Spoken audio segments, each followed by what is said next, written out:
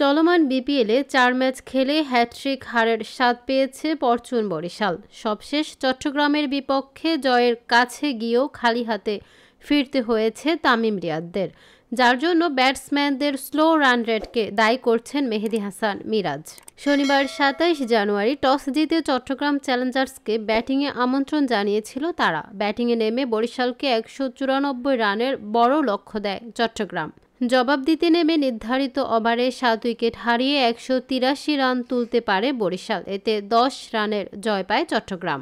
এদিন সৌম্য সরকার ও মুশফিকুর রহিমরা স্ট্রাইক রোটেট করে খেলতে পারেননি। এমনকি তামিমও তেত্রিশ রান করেছেন ত্রিশ বলে। ম্যাচ শেষে সংবাদ সম্মেলনে মিরাজ বলেন টি টোয়েন্টিতে বেশি রান করতে গেলে প্রত্যেক ওভারের রান রেট ঠিক রাখতে হবে।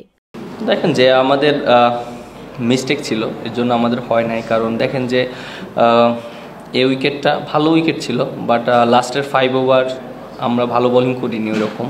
আমরা দশ রানে হেরেছি। একটা ওভার বেশি রান হতেই পারে। উইকেটটা ভালো আমাদের ছোট ছোট যে ভুলগুলো ছিল এজন্য আমরা হেরে গেছি। দেখেন যে টি টোয়েন্টি খেলায় কিন্তু আপনার বেশি রান চেস করতে গেলে কিন্তু আপনার প্রত্যেক ওভারই কিন্তু রান রেটটা ঠিক রাখতে হবে। আপনি দেখেন যে একশো চুরানব্বই রান আমরা চেস করছি অলমোস্ট সাড়ে নয় করে রান লাগছে ওভারে সো এখানে কিন্তু কোনো ওভারই আপনি রিল্যাক্সে খেলা যাবে না।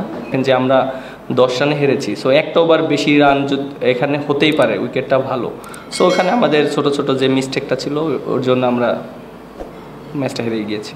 এই ম্যাচে ষোলো বলে ৩৫ রানের মারকুটি ইনিংস খেললেন এই টাইগার ব্যাটার। মিরাজের আউটের পরই মূলত ম্যাচ থেকে ছিটকে যায় পরচুন বরিশাল। শেষ পর্যন্ত দশ রানের হার নিয়ে মাঠ ছাড়ে তামিম ইকবালের দল।